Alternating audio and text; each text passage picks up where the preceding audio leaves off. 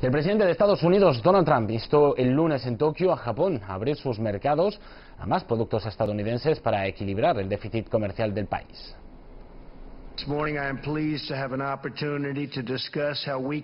Estoy encantado de haber tenido esta mañana la oportunidad de conversar sobre nuestras debilidades y fortalezas y de aprobar los lazos económicos entre Estados Unidos y Japón.